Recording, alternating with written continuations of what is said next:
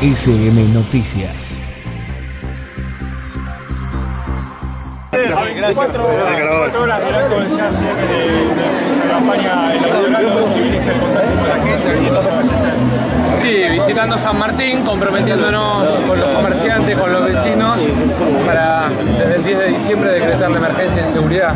La gente está harta de tener que convivir con la inseguridad, con el miedo, de poner rejas adentro de los negocios y encima de tener cada vez más presión de los impuestos. Cada vez paga más impuestos, cada vez tiene menos seguridad.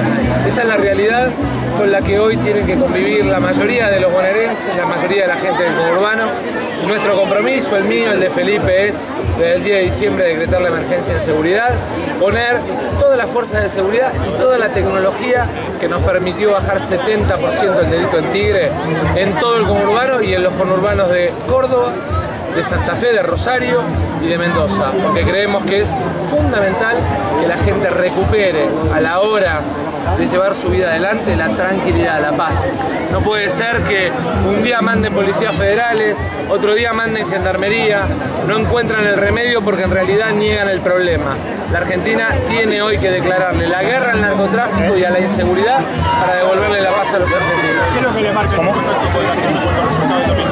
Mucho cariño, yo honestamente tengo una enorme confianza que el domingo millones de argentinos silenciosos que no quieren ni un presidente que lo manejen los empresarios, ni un presidente que lo maneje Cristina, que quieren un presidente de la clase media, un laburante, que se comprometa con ellos y que se comprometa con el futuro. Van a ir, van a manifestarse masivamente, nos van a poner en la segunda vuelta y vamos a terminar una etapa de la política argentina terminando en el, en el balotaje. Massa, usted se pronunció en contra de los planes sociales. En realidad no me pronuncié en contra de los planes sociales, eso lo quiero aclarar. Cada argentino que tiene un plan lo va a tener por ley.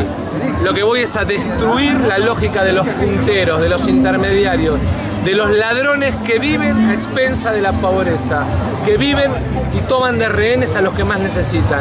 El plan es de la gente y la gente puede volver al trabajo. No quedan de rehenes de los punteros políticos como pasa hoy. Verdad es que yo no quiero que festejen los mercados el domingo. El domingo si ganamos quiero que festeje la clase media, los comerciantes, los profesionales, los laburantes, los jóvenes que tienen la esperanza de vivir un país mejor.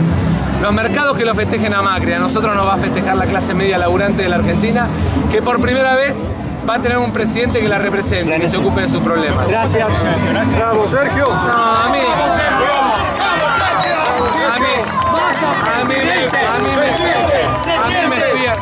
Desde el 2013. Me entraron a mi casa, me pusieron un agente de inteligencia, con chicos chiquitos. Yo no les tengo miedo, no me van a intimidar escuchándome el teléfono ni filmándome.